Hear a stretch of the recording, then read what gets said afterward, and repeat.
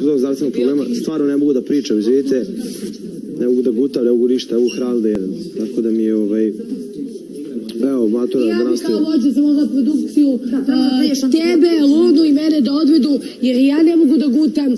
Krajnici su mi se, krajnici su mi se naduli, a, ne mogu ništa, hranu, s- sok, diraš.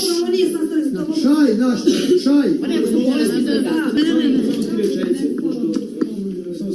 Produkcije, pošto imam baš ozbiljan problem sa grlom, zaradio sam gnojnu anginu i ja u mnogo gorem stanju nego što je Luna, znači i uši su počele bole, grlo mi je zagnojeno skroz, samo ako mogu da mi, sad imam bele flake, su mi, znači užas, kao majonez, je. Uh, što se...